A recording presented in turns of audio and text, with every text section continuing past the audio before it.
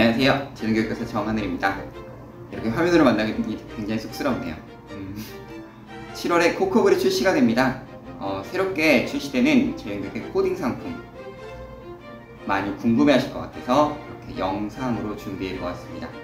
어, 그동안은 직접 이렇게 방문 드리고 설명을 드렸지만 이번에는 좀 이제 시간도 절약하고 또 언제 어디서나 코코블에 대해서 궁금하신 내용을 확인해 볼 수 있도록 그 영상을 준비했으니까 어, 짧게나마 도움이 되는 시간이 되었으면 좋겠습니다.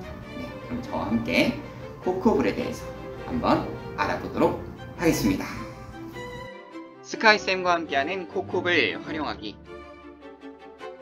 네, 순서는 첫 번째로 4차 산업혁명, 두 번째는 코딩 교육의 중요한 이유, 그리고 세 번째는 코코블에 대해서 한번 알아보도록 하겠습니다.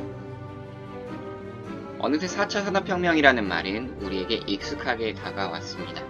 각종 기술들이 어, 우리 일상생활에 큰 부분을 차지하게 되었는데요. 우주개발, 자율주행, 3D 프린팅, 인공지능과 양자 프로그래밍, 로봇공학과 정보통신, 사물 인터넷과 나노기술에 이르기까지 다 한 번쯤은 들어봤을 이야기, 그리고 우리 실생활에 어느새 함께하고 있는 그런 기술들이라고 할 수가 있겠죠. 어쩌면 어려울 수도 있는 이야기이지만 4차 산업혁명의 핵심은 어, 다음과 같이 한번 살펴볼 수 있겠는데요. 가장 중요한 것은 모든 것이 상호 연결되고 보다 지능화된 사회로 변화했다라는 것입니다. 첫 번째로 우리가 꼽을 수 있는 것이 초연결성입니다. 정보통신 기술을 기반으로 해서 사물 인터넷과 만물 인터넷이 진화를 이루었고요.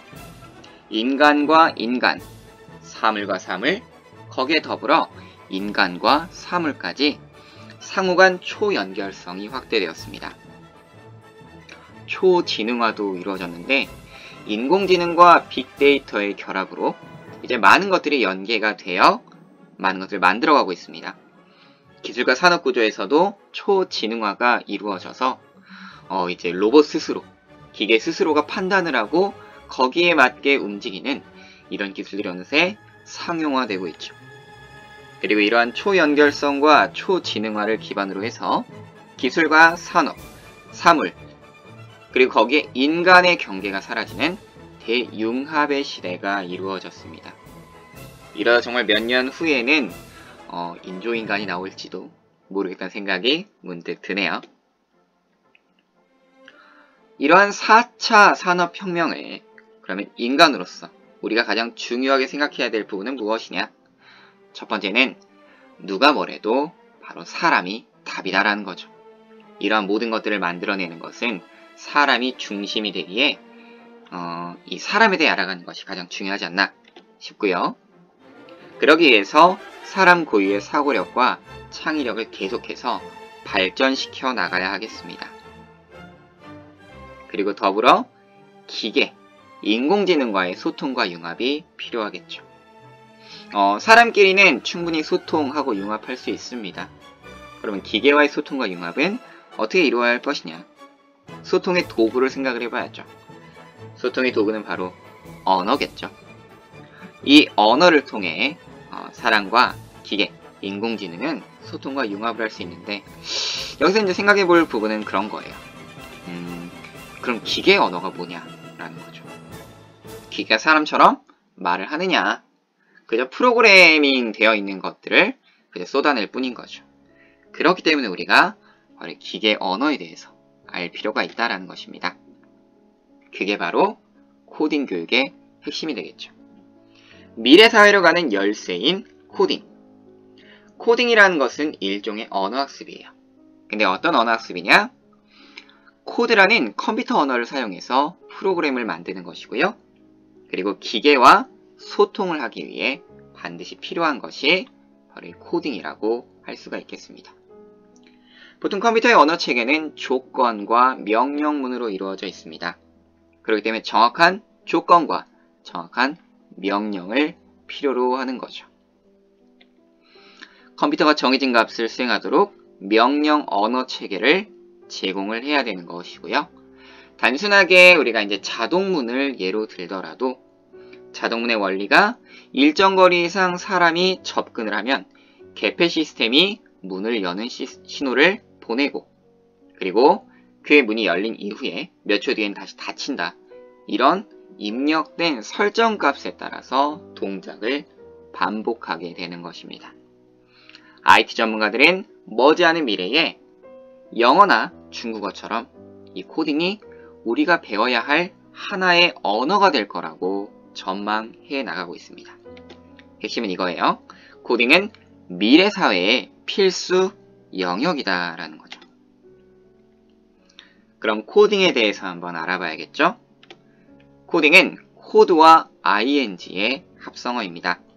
컴퓨터가 이해할 수 있는 언어로 명령하는 것이고요. 사람들 사이에는 뭐 제가 예를 들어 안녕이라고 이야기를 하면 상대방은 반가워 하고 대답을 하겠죠. 그럼 컴퓨터는 어떻게 대화를 해야 될까요? 사람이 컴퓨터 운영 체제에 명령을 내리면서 그 언어치가 이루어지는데 그 도구가 되는 것이 바로 코딩이다라는 것입니다. 코딩은 그러기 때문에 중요합니다. 코딩 실력만으로 신입사원을 뽑기도 하고요. 그리고 요즘 취업 준비생들에게 있어서는 가장 중요한 것이 코딩입니다. 우리가 흔히 개발자, 엔지니어라고 하는 고연봉의 이런 직군들이 다 이 코딩과 관계가 있습니다. 뭐 사장보다 더 높은 연봉을 받는 뭐 엔지니어 이런 이야기도 있고요. 특히나 요즘에 많이 나오고 있는 챗 GPT 많이 들려오죠.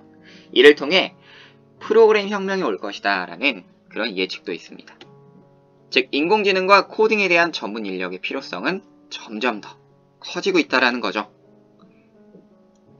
그렇기 때문에 코딩이 중요해지는데 어, 그래서 이 교육부에서도 앞으로의 교육이 이 코딩이 중심이 될 것이다 라고 예측을 하고 있고 또한 발표를 하기도 했습니다. 25년이 되면 이 코딩 교육이 의무화가 되고 정보 수업 또한 확대가 됩니다.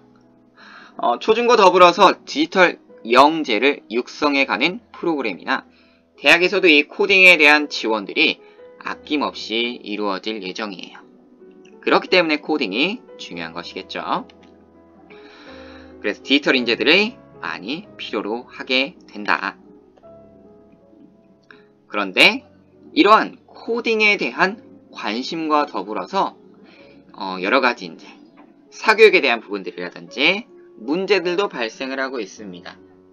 코딩의 중요성에 갑자기 대두되다 보니까 어, 지금이라도 얼른 시작해야 되는 거 아니야? 라고 해서 불안한 학부모님들이 값비싼 코딩 학원에 보내시기도 하고요.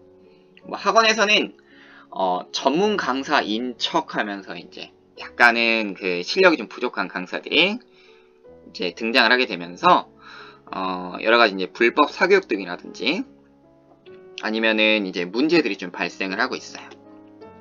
코딩에 대한 불안함으로 사교 시장이 활성화되는 것과 동시에 여러 부작용들도 발생하고 있더라. 어, 먼저는 우리가 이제 코딩의 목표에 대해서 한번 생각해 볼 필요가 있겠습니다. 코딩은 창의력과 사고력, 논리력을 컴퓨터를 통해 키우는 교육이고요. 이미 선진국에서는 이러한 교육들이 이루어지고 있죠. 그리고 이제 가장 중요한 것은 코딩은 프로그래머 양성 교육이 아니다. 컴퓨팅 사고력을 키우는 교육이라 할 수 있겠고요. 논리적이고 체계적인 사고력을 길러주며 창의적인 생각과 문제 해결력을 일깨워주는 교육입니다. 어, 코딩 교육에 대해서는 우리가 이렇게 생각을 해볼 수 있는데 어, 이미 이제 융합적 소양, STEAM이라고 하는 거는 많이 들어보셨을 거예요. Science, Technology, Engineering, Art, Mathematics. 그래서 코딩 교육을 통해 이러한 융합적 소양을 키워 나가야 한다라는 거고요. 그렇기 때문에 코딩 교육은 이러한 부분들을 필요로 하고 있습니다. 디지털 문해력. 네. 이 부분들을 코딩을 통해 키워나갈 수 있다. 뭐, 문해력에 대한 중요성은 이미 익히 알고 계시리라 생각합니다. 거기에 더불어, 뭐, 코딩을 해나가는 가운데에 이 디지털 세상에서의 문제를 해결하는 문제 해결력. 그리고 코딩은 혼자 하는 게 아니죠. 협력 코딩을 통한 협업 능력을 키울 수가 있고요. 이는 어, 여러 사람들과의 공감 소통 능력을 함께 길러나갈 수 있다. 그리고 이 코딩이라고 하는 것은 어, 간단한 재료를 가지고 내가 원하는 것들을 만들어가는 것이기 때문에 마치 레고의 블럭을 모아서 다양한 작품들을 만들어내듯이 창의력 및 융합, 복합 능력을 키워나갈 수 있다라고 말할 수 있겠습니다. 그럼 이런 교육은 어떤 방법으로 해나갈 수 있을까요? 그렇기 때문에 필요한 것이 바로 코코블이죠. 챗 GPT와 함께 스스로 문제를 해결하는 힘을 기르는 창의융합 스스로학습 코코블. 한번 재능교육의 코코블에 대해서 살펴보도록 하겠습니다. 코코블의 좋은 점, 뭐 물론 다른 데도 다 좋은 부분들을 이야기하겠지만 코코블은 이런 점이 핵심이라고 할 수 있겠습니다. 첫 번째는 각 단계별 게이미피케이션을 접목하여 학습 몰입감을 up 시켜줄 수 있습니다. 어, 공부로 느끼면 아이들은 재미가 없어요. 그렇기 때문에 마치 내가 게임을 즐기듯이 즐겁게 해나갈 수 있는 것이 코코블의 장점이죠. 두 번째는 친근한 캐릭터 및 독자적인 코딩 블록이라는 것입니다. 어, 우리에게 익숙한 친구들, 음, 뒤에 이제 한번 보실 수 있겠지만, 뭐, 포비라든지 베어콘 같은 이런 친구들을 만나면서 캐릭터가 정말 귀여워요. 그래서 아이들이 충분히 재밌게 학습할 수 있습니다. 자, 세 번째는 챗봇과 챗 GPT의 피드백입니다. 단순히 그냥 코딩만 해 나가는 것이 아니라 중간중간 궁금한 사항이나 뭔가 문제가 있다면 챗봇이나 챗 GPT를 활용해서 스스로 완전 학습을 이루어낼 수 있다는 것이고요. 네 번째로는 코딩 협력 학습 게임입니다. 이를 통해 문제 해결 능력을 충분히 업시킬 수 있습니다. 다섯 번째는 디지털 감성 및 지능. 우리가 이제 DQ라고 할 수 있겠죠. 이 학습을 통해 최종적으로는 이 시대를 이끌어갈 디지털 리더로 성장할 수 있다는 것입니다. 코코브의 학습 과정은 다음과 같습니다. 첫 번째로는 소프트웨어 핵심 개념과 원리를 학습하는 펀펀 코딩입니다. 음, 귀여운 포비. 이 친구와 함께 남극에 가서 코딩에 대한 기본 개념을 배워나갈 수 있고요. 두 번째는 사이버 보안과 디지털 예절 등을 학습할 수 있는 온도, 온라인 도덕의 줄임말이고요. 온라인 디지털 상에서의 의무와 책임에 대해 생각해 볼 수 있는 시간입니다. 네, 배어콘과 함께 즐겨 갈 수 있겠고요. 세 번째는 환경보호를 주제로 한 협력 코딩 게임입니다. 직접 분리수거를 해나가면서 즐겁게 학습할 수 있습니다. 이뿐만 아니라 AI 리포트를 통해 학습에 대한 진행사항 등을 언제든지 체크할 수 있죠. 하나씩 살펴본다면 첫 번째는 펀펀 코딩이고요. 남극 훈련 과정으로 구성이 되어 있어요. 그래서 순차적으로 기본에서 심화로 그리고 계속해서 반복을 해나가면서 코딩의 기초 개념을 학습할 수 있습니다. OX 퀴즈를 통해 배운 내용들을 다시 한번 점검할 수 있고요. 단순히 코딩만 해나가는 것이 아니라 오류가 포함된 코드를 직접 수정하면서 심화 응용 단계까지 도달을 할 수 있습니다. 두 번째로는 디지털 지능과 감성을 학습할 수 있는 온라인 도덕 온도입니다. 어, 만화로 구성이 되어 있고요. 아이들이 즐겁게 보면서 아 내가 온라인상에서는 이런 것들을 지켜야겠구나 이런 것들을 조심해야겠구나 라는 것을 충분히 학습할 수 있도록 재미있게 구성되어 있습니다. 자, 세 번째는 코코 게임입니다. 분리수거. 여러가지 폐품들을 수집해서 새로운 것들을 만들어내는 과정이죠. 환경오염과 자연보호의 eco friendly 스토리로 구성이 되어 있고요. 나만 하는 것이 아니라 전 세계 그 코코블을 즐기는 그 누구와도 만날 수 있다라는 장점이 있죠. 글로벌적이다 라는 것을 강조해 볼 수 있겠네요. 혹시나 궁금한 게 있다면 챗 GPT에게 언제든지 물어볼 수 있습니다. 궁금한 내용을 찾아주는 챗봇이 있고요. 또 AI에게 직접 개별적인 궁금한 사항을 문의할 수 있는 이런 챗GPT를 활용한 것이 바로 코커블의 장점이라고 할 수 있겠습니다. 코딩 학습의 정답은 바로 코커블이죠. 재능교육은 수준 높은 교육 컨텐츠로 평생 교육을 실현합니다. 온라인의 시작, 코코블. 코딩의 시작, 코코블. 재능교육을 통해 코코블을 만나보시면 좋지 않을까요?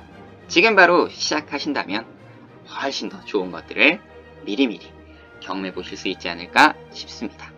네. 이상입니다. 감사합니다.